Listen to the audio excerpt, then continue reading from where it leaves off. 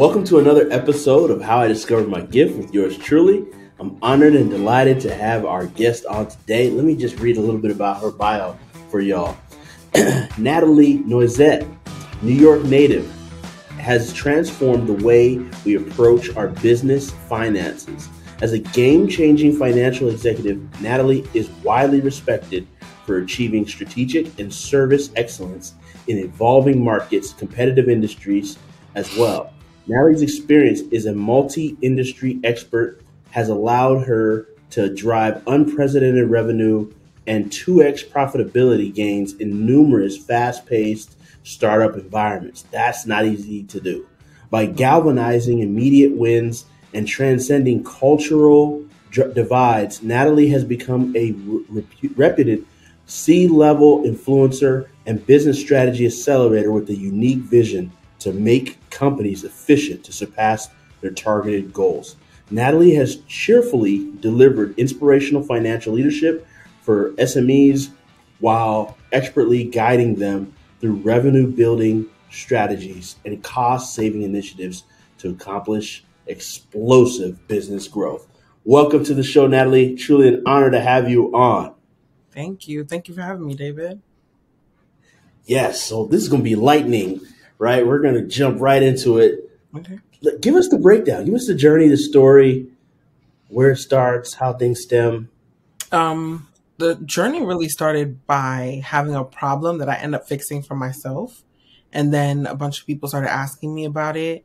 I realized it was consuming a lot of my time. And in order to make up for it, I had to charge for it. And that became a side hustle that ultimately led me to retiring at 28. Mm-hmm. Okay, you got to dig in. We got to dig in on that, right? So, what is this problem? Mm-hmm. What is the side hustle? I've So- never heard anybody retire at 28. That's Well, amazing. retired from corporate. Let me just say that. Okay, okay, okay. I left corporate and started working for myself at 28. Um, Gotcha. The problem was I had really bad credit. Um, I went to go qualify for a car and I was denied, and that was the first time I'd ever come into contact with my credit report. Um, from that time forward, I realized that um, a lot of my friends or like peers at that time or in that age group were asking questions about, you know, how did you get a car? Like, how did you do this? Or what are you doing? Like, how do you have an Amex at 21? Like those kind of questions. Um, and that was mostly a function of just having learned about where I had messed up and then solving that problem for other people, other friends. So they would ask me like, how do you do this? How do you do that? And I would spend hours on the phone every day. And then one friend would refer me to their aunt and then their aunt would refer me to their friend. And then it came, it became a situation where like my phone would, I'd be at work, my phone is blowing up. Text Mm. message calls, and I'm like, yeah, this is not sustainable. Um, at first, I got a lot of pushback charging people because you know you're their friend, so that's kind of like the expectation. There's a little bit of entitlement there, um, but then I started telling people like, "Hey, I'm going to charge for this. Don't tell them I did this for you for free. I'm going to charge the other person. I'm doing this for you for free, but every person moving forward is going to be charged." And then um, I my prices were really low, which which met with which was met with no resistance whatsoever. Um, Mhm. And then once I understood the value of what I was doing and I charged more and I understood what my time was worth, I was able to kind of like balance that out. And then I left my corporate job. Wow. Wow. Yeah. Mhm. Okay. So take us into what it is that you do. How do you solve their problem Right. of So- the credit? I've since moved from credit. I, I really don't help with the credit anymore. I wrote a book pretty much outlining point A to Z of what it is that I do through the entire process for someone else. Um, and then it's, it's beneficial because if you're trying to if you're trying to start a credit repair business, you can actually really do it that way, minus like the um like the bonds and like all the other business bureaucracy that goes into owning a business. But even if you wanted to just do it for yourself, it's more cost effective. The real trade off is the time that it will take you to read the book. But I don't do it anymore because there was a new demand. the new demand now is um, I actually restructured my credit company um, to meet the new demand that happened at the head of the pandemic. Um, I noticed that like around March, March, April, May, June, July, around like April to June, a lot more people because of the pandemic were asking me like, Nathalie, I lost my job. You know, I don't know what to do. Like, you know, how did you do this? How did you do that? And end up a situation where um, I end up consulting more on the business front because by that time I had been, I was already in business for a number of years, and everyone was asking me like, advice about how to start a business, how to do this properly, how to get funded, how do I take advantage of like all this COVID-19 relief? Like what am I what am I doing? Where am I going with this stuff? Um so interestingly enough, because credit is very foundational, because they had poor credit trying to start a business with no revenue or no proof of real concept, um, or just trying to have a side hustle, they either would have to leverage their credit, which they didn't have, or they would be in a position where they'd have to use themselves as personal guarantors in order to get like business lines of credit or things like that. And they didn't have that either. So it all came back full circle in a real like easy roundabout way where people were asking me for more business advice. So what I did with the book was I removed myself from the actual repair part. Um, I'm working right now on building a business addition to the converted book. So business owners or people who want to transition into becoming entrepreneurs have that foundational like understanding of how their personal credit is going to impact their business credit without revenue at first. And then, um, also just a podcast, the book, like I'm also writing another book about, um, just introductory business concepts that minorities need to know to position themselves well for funding and um, to be able to do things like government contracting, like bidding or no bidding or that kind of work. Um, and then also just other kind of like streamlining the process, speaking, of course, that's a, that's always a part of it to make sure that it's all of those needs are addressed in a holistic sense. So I'm, that's a long roundabout way to say I moved away from the credit, but everything kind of always still comes back to it. And ultimately, our oops, sorry, ultimately our goal is to be able to be um, in a position to offer credit one day. You know, just to kind of like mm-hmm. really bring it home to the roots wow. and um and and essentially become a bank. Wow. Yeah.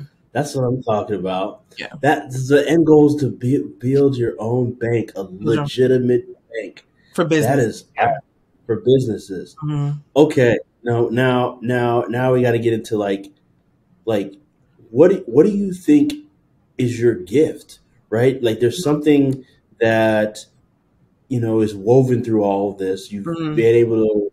I mean, if I took a guess, I could guess, but I, I want to hear from you. What yeah. what is what is your gift? Um, you know, I think my strongest quality as far as like just being a business owner is being able to notice patterns and being able to understand trends and really looking at information um, like on the on a macro and micro level and see how things are going and how things are likely to pan out right? I can't i'm not a psychic. I'm not good i'm not i'm not saying i can predict the future but i haven't really been that wrong yet. So i think just looking at patterns and understanding um, things from like a mental physical behavioral sense um, i think has helped me significantly. Like, our, like exa- for example, like again, now I'm not a psychic. If we just pay attention to the patterns, life is very cyclical. Our society is cyclical. Our economy is cyclical. Our culture is cyclical. Things just keep coming back. When they come back is what was called to question or being able to see when it's kind of leaning and trending that way. For example, bell bottoms have come back. I'm 33 now. Bell bottoms have come back at least three times in my lifetime, right? So like they, they come back. Um, I've seen at least three or four recessions that I can remember. You know what I mean? Um, so if you can, if you pay attention and you see how these things are trending, I think that's one thing that people should learn how to do. But I think it's kind of almost innate. I don't, I don't, I didn't read any books about it. I didn't study it. I just read and I'm like, mm, that's interesting. Um, and I've been preaching about it since the beginning of the pandemic, like, hey, credit's changing and it's changed a lot. Um, right. You know, I said the housing market would change and it's changed a lot.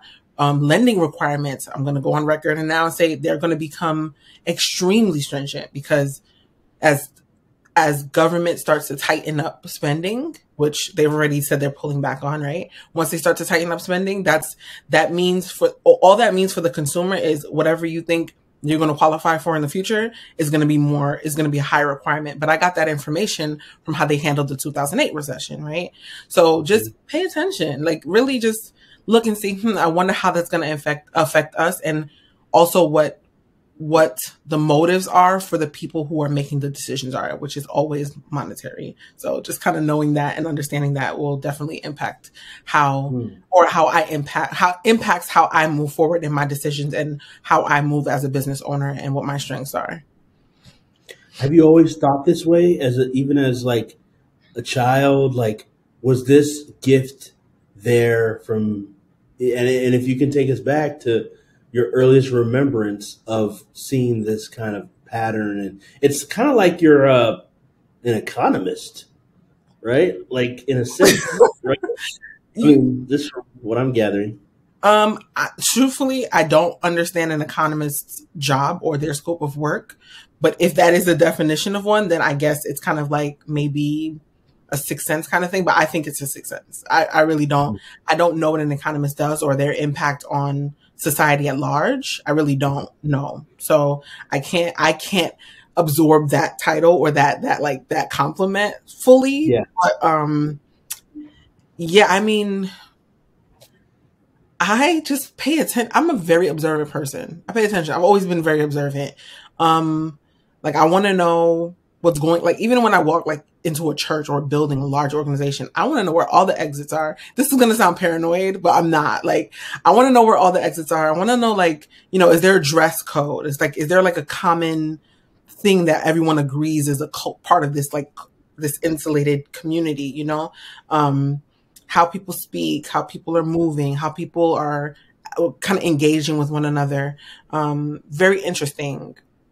I find those things very interesting. And I think the same just kind of translate across business as well. Like, um, even as a kid, I could remember like looking at my mom and dad interact to see like who's right or wrong in the argument. and then they'll turn around and ask me like, what do you think? And I'm just like, mm, you know, th- this or that or whatever the case may be. And they didn't think I'm paying attention for real, but th- like someone who, um, was paying attention would only be able to give that kind of insight or input. So, um, yeah, just observant. Just I want to know. Very wow. interested in knowing. Yeah.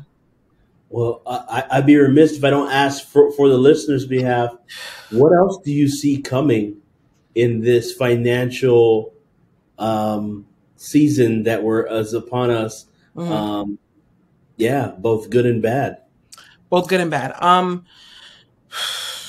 to be honest with you, I see mostly bad in a way. Um, I think that um, we're going to have a big societal shift around money for sure.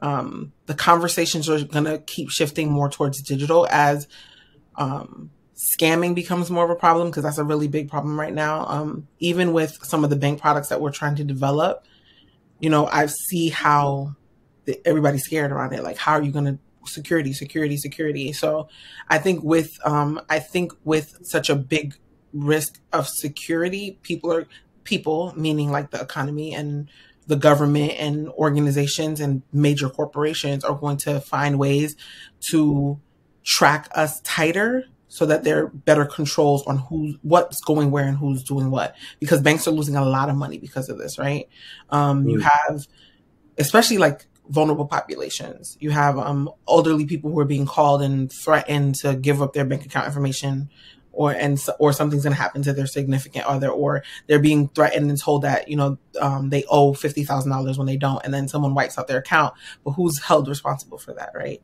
Um, and the bank is supposed to protect you. So in order to protect themselves, they're tightening up on some of those um, those uh, controls that they have, and mm-hmm. I think they think from what I'm reading and what I'm seeing, I think they think that the solution to that is moving more towards like a digital framework.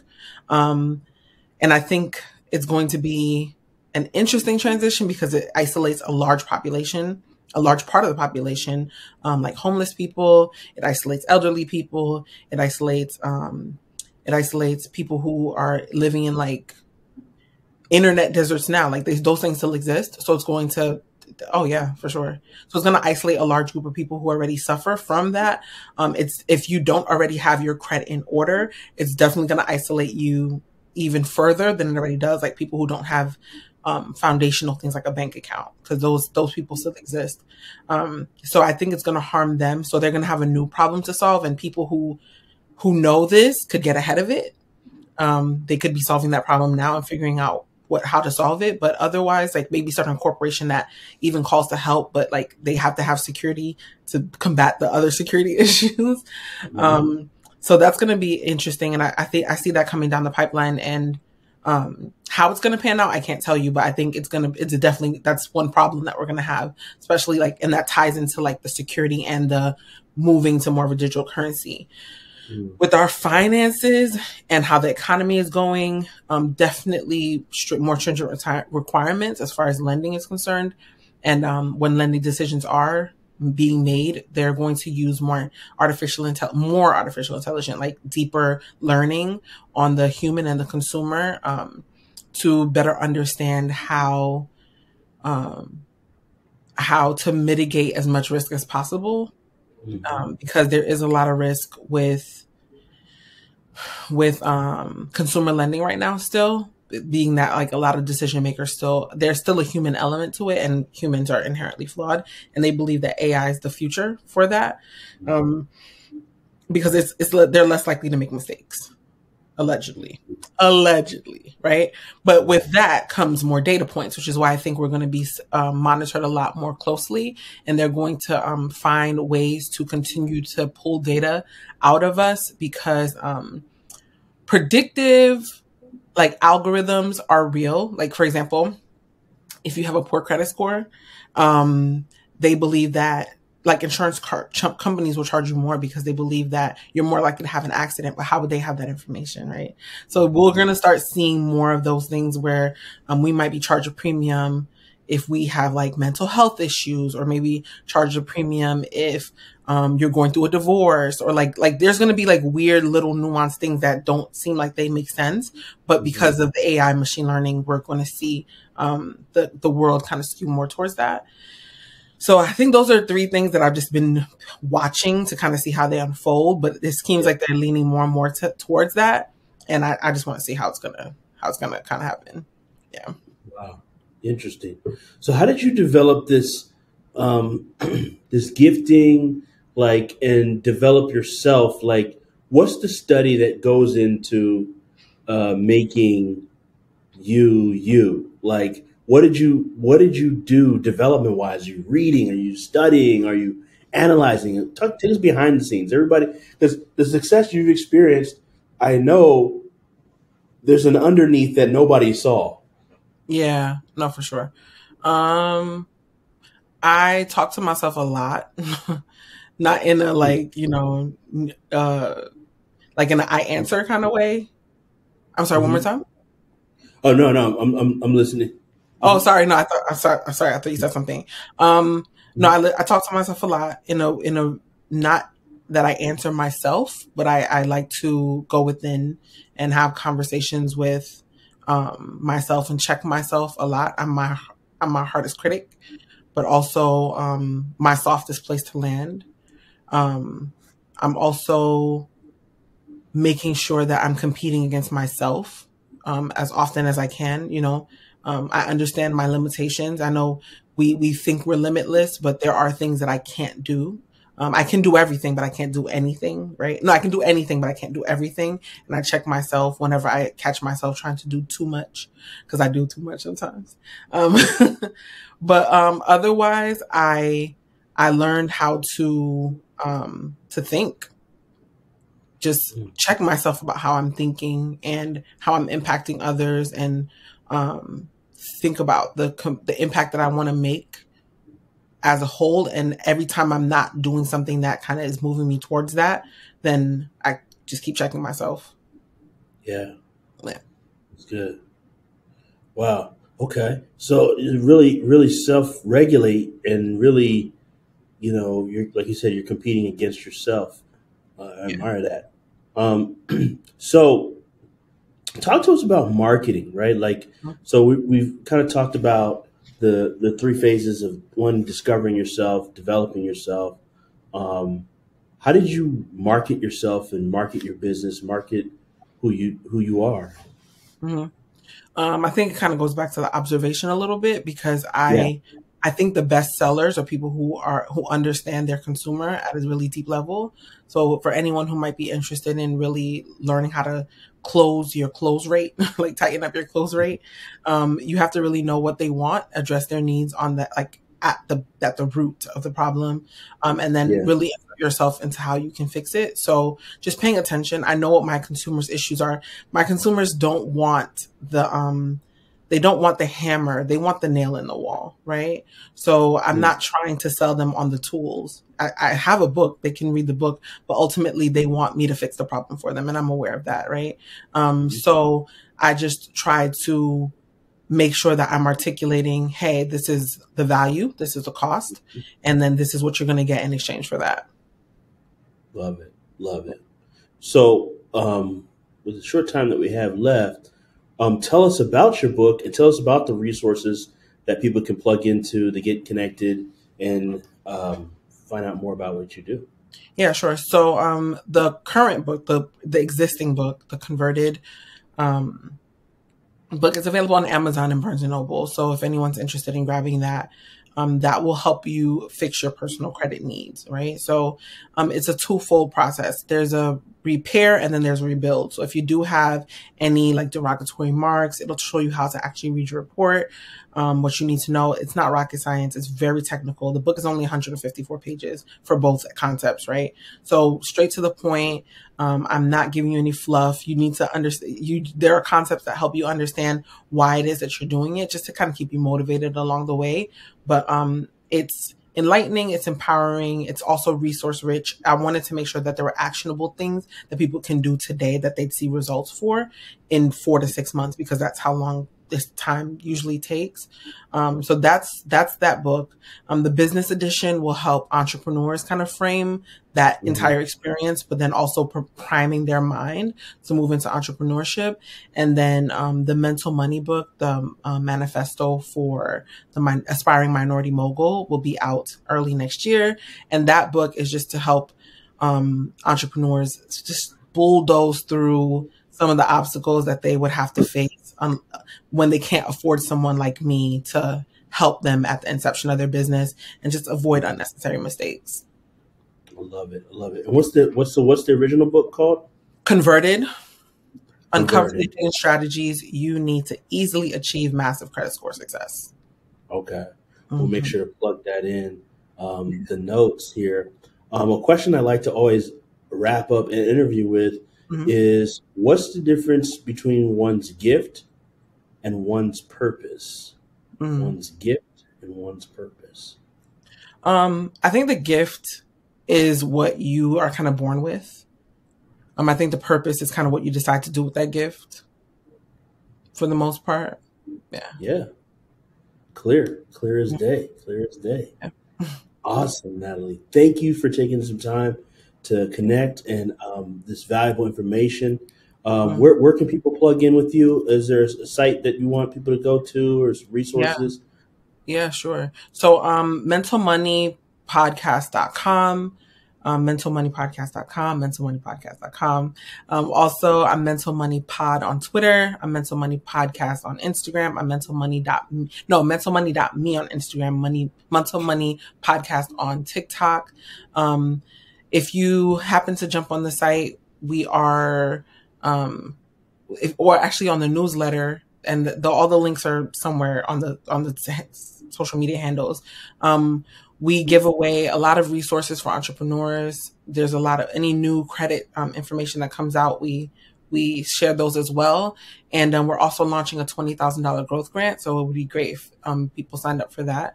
Um, and we also have supporting materials in case people don't know how to write proposals effectively so that they can increase their chances of winning grants, not just ours, but grants in, um, in particular.